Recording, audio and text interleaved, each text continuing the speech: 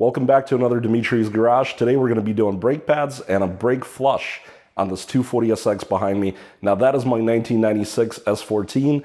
You can learn a little more about this car from the video up top. Brake pads are one of the easiest jobs any home mechanic can do. It doesn't require you getting under the car, just popping the wheels off and lifting the vehicle. Brakes are the very first thing I learned how to do on my car when I was a teenager. My stepfather showed me how to do it on my, at the time, 1992 Chevy Lumina, which somehow needed brake pads way too often. It might have had something to do with the way I was driving. You're definitely gonna need brake fluid. You're definitely gonna need brake pads.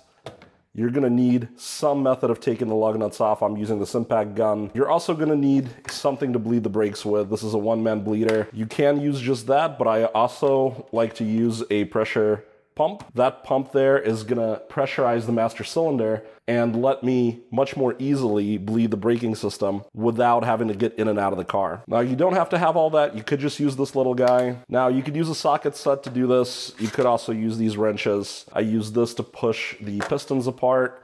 I uh, actually use this little guy here to turn in the rear brake pistons. I do recommend having some wire uh, I use this to hang the calipers. Some brake cleaner also helps scrubbing bolts. Some screwdrivers to ply with. If you're gonna measure your rotor thickness, this is the right tool to have. We're also gonna use my ultrasonic cleaner to get the parts nice and clean that we're gonna reuse.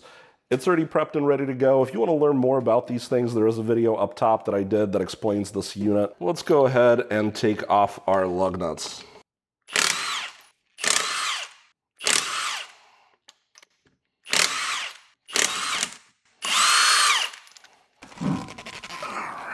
Got our rotor, looks pretty smooth. Got our caliper and our brake pads, and the brake pads look like OEM Nissan green ones. So we're gonna start with a 14 millimeter socket, and we're gonna throw it on the back of the bolt right here that holds the caliper to the knuckle bracket. Ooh. We take this bolt out and we save it so that we can wash it. Then there's a second bolt right here in the bottom. We're gonna do much the same thing. Now we're not gonna take that bolt all the way out. Instead, what we're gonna do is swing this open. We're gonna take that wire. Now we take the bottom bolt all the way off and loosen this really carefully. Know, we could put it up here somewhere it just holds it in place. It makes it really easy to work with. See, it just, it just stays in place now. So at this point, we can start taking some of this equipment apart. In the back here is a little bracket. I'm gonna save that. What else is here? So this one sits in front of the other, and it actually sits between the pad and that other clip that sits in front of the piston. So it's kind of two plates. Pretty interesting design. This is where a little screwdriver or pry bar can come in handy. So we got this pad out, and it does look to be a uh, Nissan OEM pad. Actually still in pretty good shape, but it's very dusty. Pick these clips up.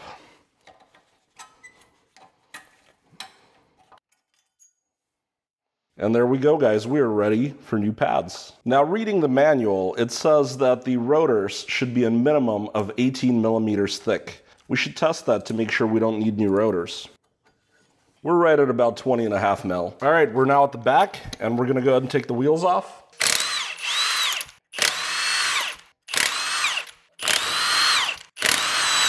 All right, we're gonna pop the wheel off. Got our little baby caliper. Here we have our 14 millimeter socket again. Same deal, put it back here.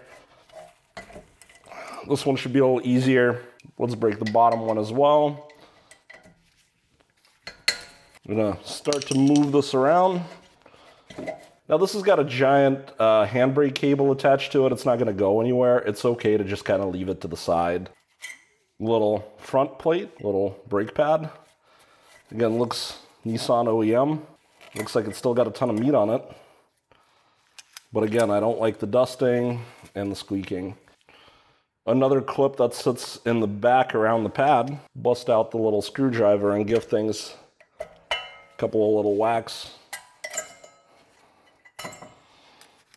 And two more clips that sit at the top and bottom of the pad. Before getting started, it is a good idea to measure the rotor thickness. So in our case, the rotor thickness is 9.23 millimeter and 8 is the minimal thickness. Let's go take this stuff and throw it inside of our ultrasonic machine. So we've got our ultrasonic hot water bath. It's about 130 degrees in there. Set this for an hour.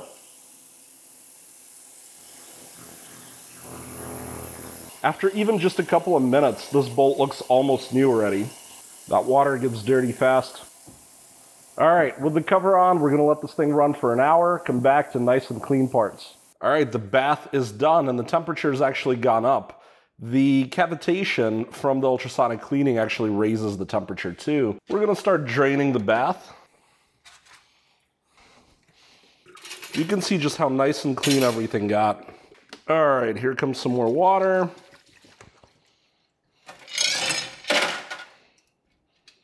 Now, as you guys can see, this hardware is like new now. There's really no problems with the hardware that I could see. Now, one thing we need to do is open this reservoir for the brake fluid. Try not to get any crud in there. We keep that open when we push the pistons back. It's very important that you put a towel or you drain some of the fluid. Disengaging the piston to put bigger brake pads in will cause the level to overflow. So throw a towel in there or remove some of the fluid. Now before installing new pads, it's very important that this piston is rotated inward using some pliers.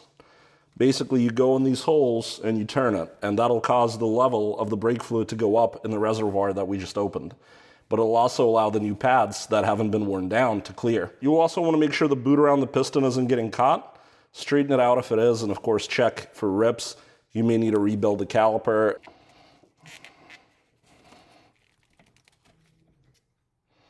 Now we're gonna need to place these retaining clips up top and on the bottom. So we're gonna start with the outside pad, which is this one. Essentially, you're trying to get these little ears into the channel here. And guys, this is a frustrating thing to do. This sometimes throws people off. Now you take your rear brake pad and you apply lubricant to the back just like that, and smear it around. So we're gonna apply some of this grease to the outside pad. We're gonna apply the front shim. There we go, that's the front shim in. So we've applied the grease to the back pad. We're gonna apply the back shim. There's little, little tabs that clip it on. Once it's nice and snug, we take that pad and we put it in the back here. It's not always the easiest to get this thing to play ball. Yep, there we go. Now we have to see if we need to adjust the piston anymore. It's not wanting to go back on. So we need to move the piston inboard a little more. And I think that's gonna go on like a glove. So before we fit it on, one thing that I'd like to do I like to check the condition of these guys, the little pins, and these are great. They're lubricated. Um, everything seems fine. I'm gonna pull the bottom one out. Same deal. It's lubricated, the boot's not cracked, nothing to worry about. Now we can slide this guy back in place. We're gonna grab some of our 14 mil bolts. You want them to catch and get threaded into the pin that we just checked. Perfect. Now these bag bolts are 31 foot-pounds of torque, which is what we've got my wrench set to. Let's see, we did 30.8, that's perfectly fine.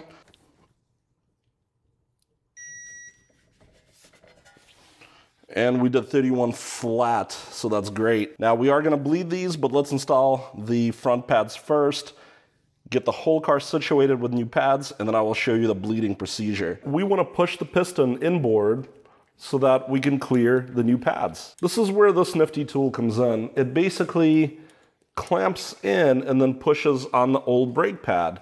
I've just simply placed the old brake pad in here in such a way as to not damage the piston. It might be a little difficult to see, but I'm basically pushing the piston in. Don't push once it gets to a tight spot. It's probably all the way open. Now we want to get our pads in here. We're gonna take a pair of clips and put them into the bracket. They really pretty much just go one way. Now again, the sensor goes in the back and the regular flat one goes in the front. So let's put the front one in first. It's the easier one. Now we're going to take the back pad and do the same thing. Now we fit the inner shim, and then we grab the outer shim.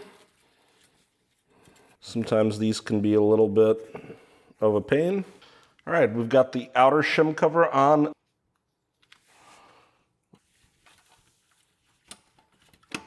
We're gonna untie the caliper. So now we take our untied caliper now we can grab two of the bolts. I'm gonna thread that on into the sliding pin. Now for these bolts, the torque rating is the same. It's gonna be 31. All right, so to get our bleeding started, the first thing I wanna do is reduce the amount of fluid in the reservoir. I'm gonna use the pliers after cleaning them off to pull up very gently this little stopper thing. Now I have a pump that lets me take some of the fluid out, but there's a lot of different ways you could do this. Some people choose to run the fluid all the way through the line instead. You know, other people use a turkey baster. There's a million ways to do this, so this is just the way that I'm gonna do it.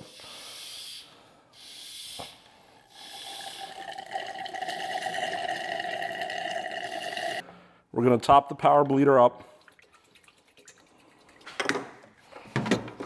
All right, pop the pump back in, and then we're gonna pop the cap on. There we go. So the trick now is to pump it up a little and make sure we don't get any leaks. We're gonna wanna go to about 10 PSI to start. So I have this unit right at 10 PSI. We're gonna watch it and make sure it stays there for a bit. So it's been about 10 minutes and as you can see the pressure is right at 10 PSI. We're doing great. Let's pump this thing up to about 20.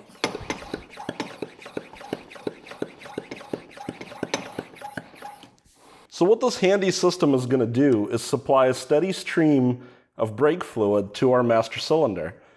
And it's gonna supply the pedal pressure that you'd normally do by sitting in the car. So all we'll have to do is open and close the banjos on the calipers. We are now at the back right wheel, which is the farthest from the master cylinder. There's a little R up here telling us that. And this is where we want to start bleeding. We want to do the rear right, the rear left, the front right, then the front left. That is the correct order. So first we remove the little, the little cap, pop this hose onto the banjo back here. So we get our little 10 millimeter wrench in there and we pop the banjo open and we should see fluid start to come through. There's no bubbles and it looks clear, which is a good sign. I just don't know how old the fluid is. Over here on this side, we're gonna monitor the master cylinder level and the pressure up here. The goal is to get quite a bit of this fluid to circulate. We're gonna close that. We're gonna take the cap off back here go ahead and open the banjo.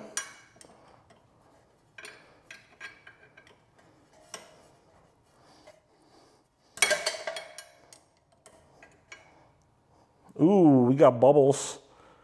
Yeah, so that one definitely needed to be bled. Like right now, I'm not able to lock the wheels up on this car when I slam on the brake. All right, I think we got this one filled up. We're going to close off the banjo. It's not very much torque, just a little bit.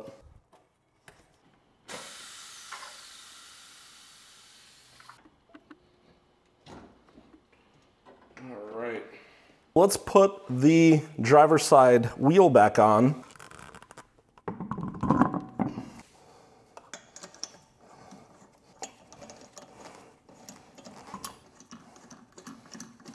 We're not trying to fully torque them yet. I've got the wheels on, they're on all over the car. It's time to lower the car down and tighten everything up with our torque wrench. We're gonna punch up 80 foot-pounds. Got 80 on the dot right there.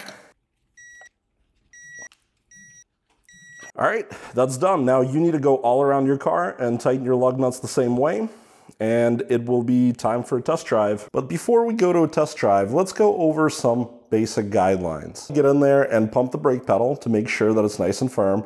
It may go to the floor initially, just give it pumps.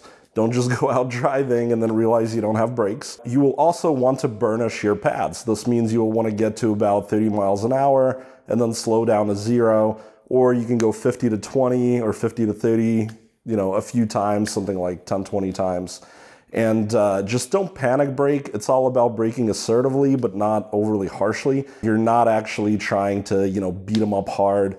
Uh, definitely wait for them to burnish in to do that. The other consideration is the type of pads that you're going to put in. I meant to talk about this a little earlier, but I got sidetracked. You want to consider, for most people, ceramic pads. There are semi-metallic that are a little cheaper. I believe that's what the OEM pads are because they dust a lot and they're squeaky. Uh, ceramic are going to be nice and quiet.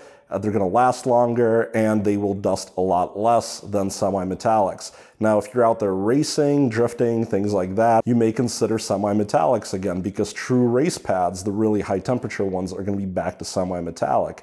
Now, they're going to make a ton of noise. They're going to dust a ton, like my Mustang suffers heavily with dusting from the semi-metallic fronts but they will brake the best. They will fade the least. They work really, really well, but that is the high end semi-metallic pads, the racing pads. Now you may not want to put those on your street car. I've made that mistake before. It's really not fun when you suddenly find yourself with poor braking performance on cold brakes. So I'm gonna go test my car out. I'm gonna go burnish the pads. You should do the same, but when you have a chance, check out the Amazon links below in the video. Give those a click. I make a small percentage of anything you buy. It doesn't even have to be the same item as in my link, and it helps the channel out so that I can do more of these videos. Furthermore, I would love it if you subscribed and left me a nice comment. I really appreciate all of those, and I talk to most of you guys. So I'm testing out the 240 with the new brakes. Before, I couldn't even lock the tires up at all. I just burnished them. I let them cool down. Let's test them out. Much better than before.